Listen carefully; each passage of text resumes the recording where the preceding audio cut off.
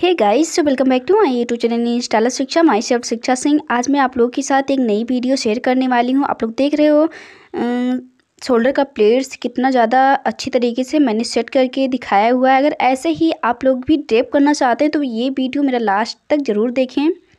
अगर आप shape beer पेरीकोट bear करते हो तो उसका जो आप लोग सामने देख रहे हो, ये कटिंग वाला पार्ट होता है, वो आप सामने ही रखिए। उसके बाद आप अच्छी तरीके से सारे फैब्रिक को क्लीन कर लीजिए।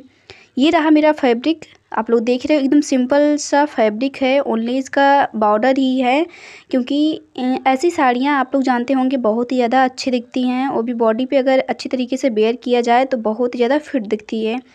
सो मैं ओपन करके दिखा दूँ आप लोगों को कि एकदम ज़्यादा प्यारा फैब्रिक है, वो भी रेड कलर का है। और रेड कलर में अगर कोई भी साड़ी अगर आप परचेज़ करना चाहते हो तो बहुत ही ईजी तरीके से आप परचेज़ कर सकते हो एंड आप लोग को भी पसंद होगा कि रेड कलर की साड़ी जो उसका लुक होता है, अगर आप बॉडी पे अच्छी तरीके से फिट होता है, उसका लुक बहुत ही ज़्यादा अट्रैक्टिव दिखता है। सो ये रहा मेरा लास्ट वाला फैब्रिक जो मैं साइज़ करके ही अपने फैब्रिक को राइट साइड से टकिंग करके स्टार्ट करूँगी। राइट साइड से टकिंग करके पहले आप लोग ऐसे ही साइज़ कर लीजिए।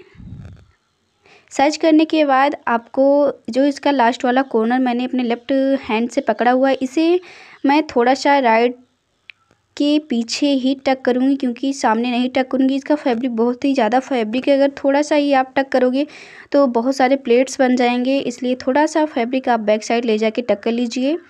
बैक साइड टक करने के बाद सेकेंड टकिंग आप उसी के ऊपर अच्छे तरीके से टक कर लीजिए। एंड देन उसके ऊपर जो सारे फैब्रिक आप लोग देख रहे हो, मैं अपने दोनों फिंगर से अंदर की तरफ़ इन कर रही हूँ। ऐसे ही आप लोग को भी इन करना है, जिससे साइड का शेप जब आपका दिखे तो बहुत ही अच्छे से आए। एंड बेसिक राउंड की जो फिनिशिंग होती है, अगर उसे अच्छी तरीके से आप दे रहे हो तो बहुत ही ज़्यादा उसका जो फाइनल लुक आता है, बहुत ही ज़्यादा अट्रैक्टिव दिखता है। सो बहुत ही हल्के फिंगर से मैंने अपना सारा बेसिक राउंड की जो टकिंग है वो कंप्लीट कर ली है। अब बारी आती पल्लू की प्लेट्स की। सो so, सारे फैब्रिक को आप पहले राइट साइड ऐसे रफली ऐसे गिदर करते हुए एक साइड कर लीजिए। एक साइड करने के बाद आपका लास्ट वाला कॉर्नर आएगा। कॉर्नर दोनों फिंगर से आप पकड़ते हुए प्लेट्स को अरेंज करना है।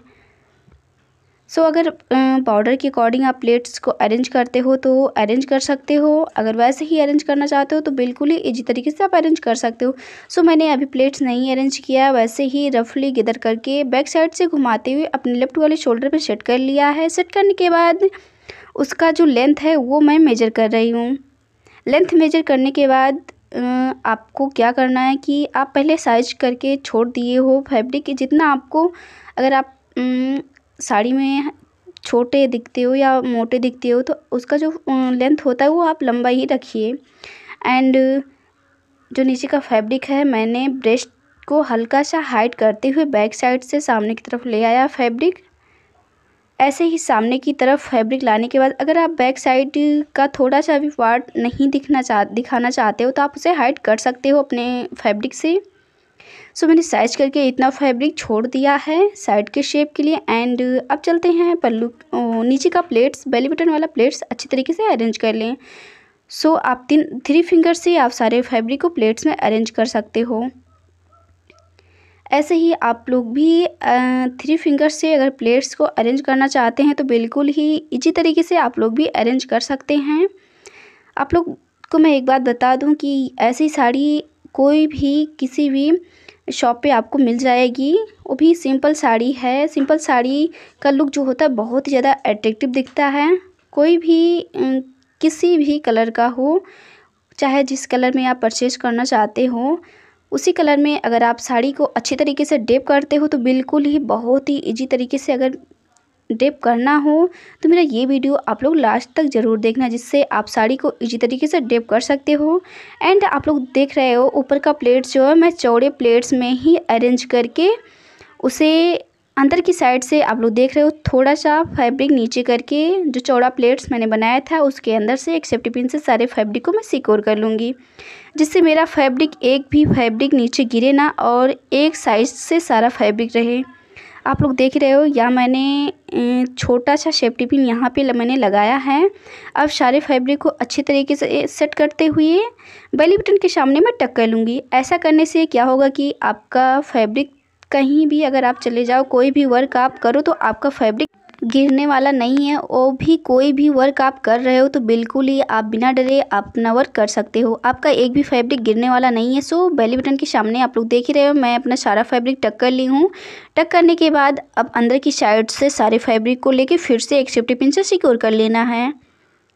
जब आप शिकोर कर लो तो आपको जो आप थोड़ा सा फैब्रिक साइड के शेप के लिए छोड़े थे उसे आपको अभी वैसे ही रखना है। पहले आप पल्लू के प्लेट्स को अरेंज कर लो जिससे साइड का शेप आपका दोबारा ना सेट करना पड़े।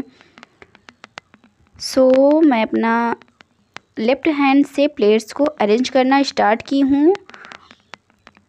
पहले आप एक दो प्लेट्स अच्छी तरीके से अरेंज कर लें। एक दो प्लेट्स अच्छी तरीके से अरेंज करने के बाद उसी के अकॉर्डिंग सारी प्लेट्स को आप अरेंज कर सकते हो, जिससे आपको फैब्रिक बिल्कुल ही अच्छी तरीके से सेट हुआ दिखाई देगा। सो मेरा सारा प्लेट्स रेडी हो चुका है। जहाँ पे मुझे सेफ्टी पिन लगाना है शोल्डर पे, उस वाले पार्ट को मैं अपने लेफ़्ट वाले फिंगर से वन बाई वन करके अच्छे तरीके से सारे फैब्रिक को सिक्योर कर लूँगी प्लेट्स में। एंड देन गाइज़ अब क्या करना है आपको? जहाँ पे आपको सेफ्टी पिन लगाना है शोल्डर पे उस वाले पार्ट को अच्छी तरीके से वन बाय वन करके प्लेट्स में अरेंज करने के बाद अपने लेफ़्ट वाले शोल्डर पे सेट कर लेना है। लेफ़्ट वाले शोल्डर पे जब आप सेट कर लो तो फिर से आपको अगर आपका लेंथ छोटा हो गया है या फिर बड़ा हो गया है उसी के अकॉर्डिंग आपको फिर से सारे प्लेट्स को अरेंज करना पड़ता है।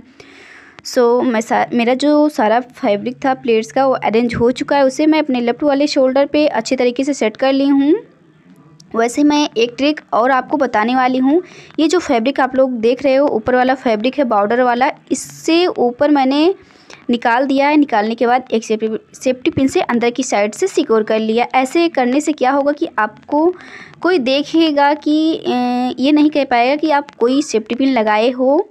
ये अंदर की साइड से सेफ्टी पिन लगाने से आपका फैब्रिक ऊपर से आप ढक दोगे तो बिल्कुल ही बहुत ही अच्छा सा लुक देगा। एंड आप लोग देख ही रहे हो साइड का शेप बहुत ही ज़्यादा अच्छा दिख रहा है। ऐसे ही टाइटली आप लोग भी इसी तरीके से साइड का शेप अच्छी तरीके से देकर उसका एक अच्छा सा लुक आप लोग दे सकते हो। अगर आप लोग ऐसे ही मेरा वीडियो आप लोग लास्ट तक देखेंगे तो बिल्कुल ही बहुत ही ईजी तरीके से आप लोग भी साड़ी को टेप करना सीख जाएँगे। So this is my final look final look मेरा आप लोगों के सामने ही है। एंड देन गाइज़ अगर ये वीडियो मेरा आप लोगों के लिए थोड़ा सा भी हेल्पफुल रहा हो तो मेरे लाइक के बटन को हिट कर सकते हो एंड बेल आइकन को प्रेस कर सकते हो। सो मिलते हैं किसी और वीडियो किसी और नए स्टेप के साथ। तब तक के लिए बाय बाय